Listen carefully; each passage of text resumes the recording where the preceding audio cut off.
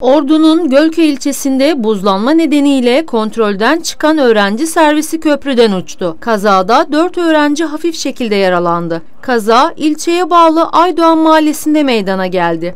Edinilen bilgiye göre HY yönetimindeki 52M 9024 plakalı öğrenci servisi yolda meydana gelen buzlanma nedeniyle kontrolden çıktı. Köprü bariyerini yıkarak ırmak kenarına uçan minibüste bulunan 8 öğrenciden 4'ü hafif şekilde yaralandı. İhbar üzerine olay yerine sevk edilen sağlık ekipleri öğrencileri Gölköy Devlet Hastanesi'ne kaldırırken minibüsün ırmağa devrilmeden durması ise muhtemel bir facia önledi. Jandarma ekipleri kazayla ilgili inceleme başlattı.